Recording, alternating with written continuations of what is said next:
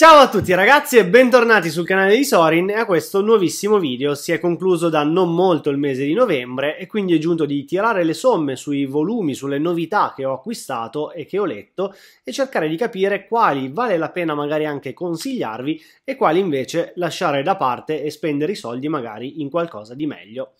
Come sempre vi ricordo di lasciare un bel like, di iscrivervi al canale e di seguirmi anche sui social che trovate qua sotto in descrizione. Ora andiamo con una brevissima sigla e andiamo a vedere quali sono state le novità che ho acquistato, quali vi consiglio e quali no.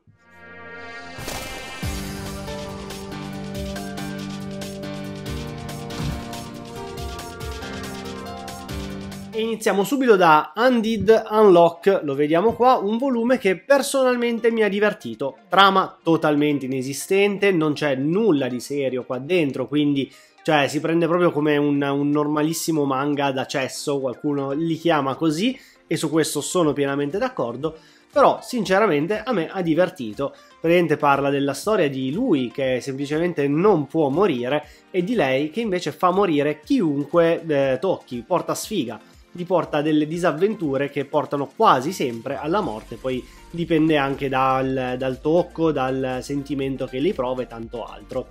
Lui, una volta che ha scoperto questo straordinario potere di questa ragazza, decide che il suo obiettivo finale è quello di andarci a letto perché con un contatto fisico del genere, soprattutto se mh, per caso arrivano anche alcuni sentimenti, sicuramente riuscirà a porre fine alla sua vita. Quindi ragazzi, ripeto, è un manga assolutamente no sense, però personalmente se qualcuno mi dovesse chiedere un manga da, da farsi due risate, questo potrebbe rientrare nella, nella, lista dei consigli. I disegni anche non sono assolutamente nulla di eccezionale, quindi è consigliato a una cerchia ristrettissima di pubblico e di lettori, ma per quella piccola cerchia che gli interessano determinati titoli è uno, uno dei manga migliori che potreste acquistare. Poi andiamo avanti con Star Wars, Luke Skywalker, le leggende. E prima cosa che notiamo è quello dell'apertura, è un'apertura all'occidentale, nonostante ci sia scritto il manga qua sotto. Anche in questo caso non mi sento di consigliarvelo a meno che non siate dei fan sfegatati del mondo di Star Wars, sono semplicemente dei capitoli autoconclusivi scritti da autori diversi che vanno a narrare delle leggende sul personaggio di Luke Skywalker naturalmente eventi totalmente scollegati all'universo di Star Wars che siamo abituati a conoscere attraverso i film, i libri e quant'altro, un piccolo approfondimento, forse neanche perché essendo scollegati non vado ad approfondire niente in realtà, diciamo che sono carine, sono simpatiche, ma niente di più. La, I disegni ovviamente variano a seconda del, dell'autore che è andato a scrivere le, i rispettivi capitoli, ma in ogni caso è un, un volume appunto dedicato solo ed esclusivamente ai grandissimi appassionati della saga che vogliono avere un pochettino tutto quello che riguarda l'universo cinematografico e non di questo titolo in, in collezione, in libreria. Ora arriviamo invece a due cofanetti e partiamo da Bunny Girl Senpai e Petit Devil Koai. Al momento sono sincero, ho letto soltanto la prima, la prima, delle due saghe che sono contenute all'interno di questo cofanetto completo e vi posso dire che in questo caso invece mi sento di consigliarvelo. Vediamo questo ragazzo che incontra una ragazza vestita da coniglietta all'interno di una libreria. Inizialmente si pone mille domande sulle motivazioni, anche perché lei è un personaggio molto conosciuto già dalla tenera età e aveva fatto delle comparse in televisione, quindi in tantissimi la conoscono, ma in quel preciso istante sembrerebbe che solo lui riesca a vederla e solo lui si riesca a rendere conto di quello che sta succedendo.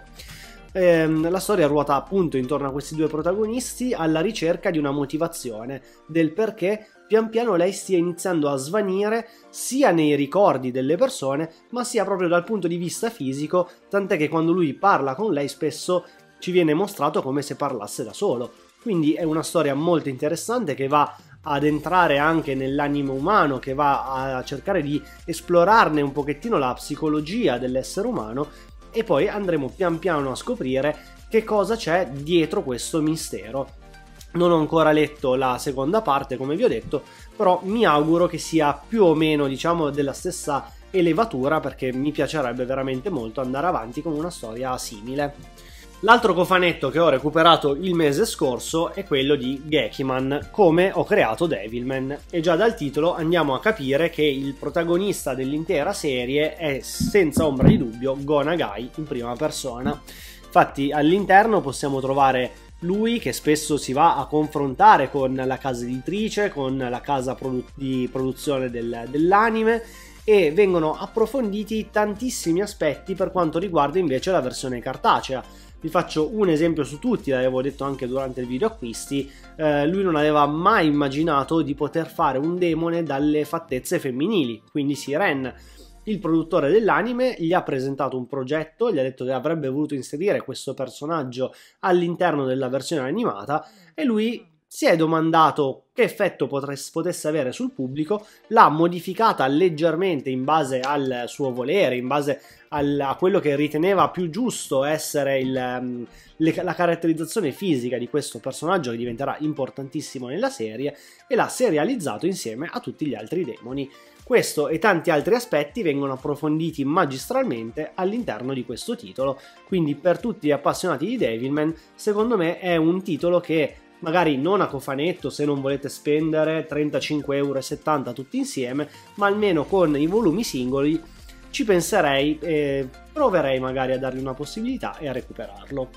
Poi andiamo avanti, in realtà c'è un altro cofanetto ed è quello di Another, edito da Star Comics in questa new edition. Cofanetto è veramente molto molto bello, anche l'edizione che troviamo all'interno con le cartoline merita tantissimo. La storia secondo me un pochettino meno, infatti non ho trovato quel... Um, eh, quelle aspettative che mi ero fatto non sono state eh, rispettate in pieno. Infatti, non so, tutti lo dicevano, lo definivano come uno dei migliori manga horror di sempre. Intanto vi mostro i volumi contenuti all'interno. Il volume 0 vi ricordo che era un'esclusiva di questo cofanetto, ma fatto sta che a livello di, di horror non mi ha entusiasmato così tanto. Sicuramente quando si va a scomodare autori come Junji Ito, Kazuo Mez, andiamo poi a parlare di tutt'altro livello rispetto a questa serie acquistatelo magari più per collezionismo perché il cofanetto è bello, l'edizione è bella, ma non partite secondo me con delle aspettative altissime perché non le ho, secondo me non saranno rispettate al 100%.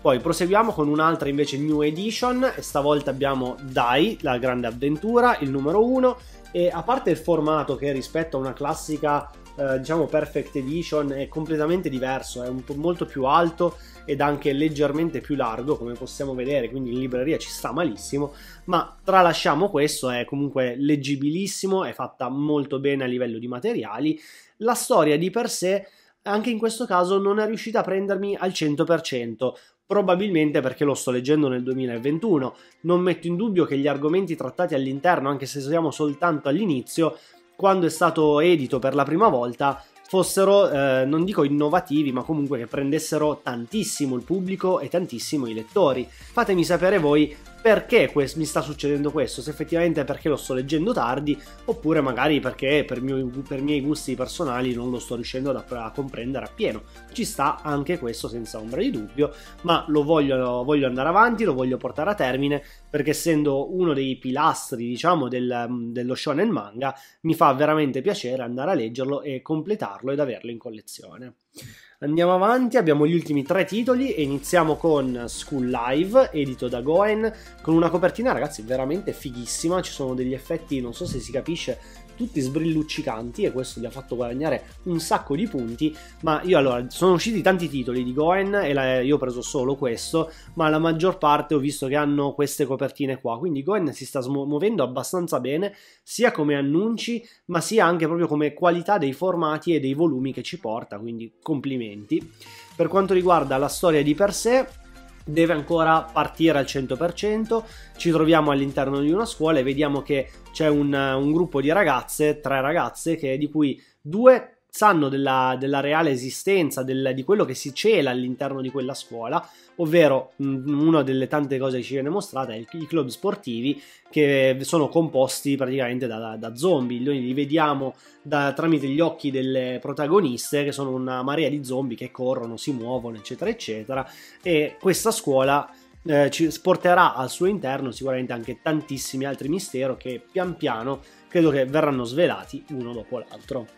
Poi, ultimi due titoli, abbiamo Dust 8, facente parte della Osamushi Collection, un volume che ho trovato veramente stupendo, ragazzi. Magari eh, se volete approcciarvi con un volume unico a Osamu Tezuka, all'Osamushi, questa potrebbe essere una buona idea, non è pesantissimo da leggere, ma ci sono dei contenuti al suo interno che spiccano e fanno vedere l'abilità di Tezuka a raccontare determinati argomenti. La trama è, potrebbe sembrare anzi abbastanza banale, c'è un aereo che si va a schiantare, muoiono tutti tranne 8 passeggeri che rimangono in vita solo ed esclusivamente grazie a delle pietroline provenienti da un monte sacro, il monte della vita, che gli dona appunto la capacità di non morire finché hanno con loro queste pietre. Due extraterrestri si impossesseranno del corpo di altri due passeggeri di quel volo deceduti e daranno la caccia a queste otto persone per riprendersi le pietre e riportarle nel loro mondo e al loro posto. Ma la cosa principale che viene descritta in questo manga è lo stato d'animo che provano le otto persone appena prima di morire, quando si rendono conto che la persona che si trovano davanti è lì per riprendersi la pietra e di conseguenza porre fine alla loro vita. Ognuno di loro avrà una reazione diversa, ognuno di loro farà emergere quelli che sono i suoi desideri più reconditi all'interno del loro animo e quindi tutto questo viene descritto veramente in, ma- in, maniera magistrale da parte del dio dei manga e quindi è un volume che secondo me merita tantissimo l'acquisto. Concludiamo con un altro maestro del manga, anche se qua lo troviamo soltanto alla, ai disegni, ovvero Kazuo Kamimura, con Cannibale, scritto invece da Yuaku. Cannibale ci porta nel mondo dello spettacolo e ci fa capire quanto, è, quanto può essere crudo e duro il mondo dello spettacolo e la scalata verso il successo in quest'ambito. C'è la nostra protagonista che vuole a tutti i costi raggiungere la vetta, vuole diventare eh, una star, vuole diventare famosa in tutto il mondo e per fare ciò, per arrivare al suo obiettivo, non si fermerà davanti a nulla si metterà contro chiunque, dalle, dai personaggi più di spicco del mondo dello spettacolo in quel preciso momento, addirittura fino ad arrivare al suo migliore amico, colui che ha amato, colui con cui è stata giaciuto per la prima volta. E tutto questo per riuscire a raggiungere appunto il suo unico ed enorme scopo. Un volume che tratta delle tematiche particolari, ma secondo me anche attuali sotto certi punti di vista. Caparbietà, convinzione saranno alla base di tutte le azioni che compierà la nostra protagonista, ma non sempre riusciranno ad avere una giusta motivazione o comunque corretta più che giusta, diciamo, e tutto questo poi ognuno di noi andrà a percepirlo in maniera diversa, cercare di capire se ha fatto bene o se ha fatto male a compiere determinate azioni. Anche questo un volume molto particolare, ma anche straconsigliato.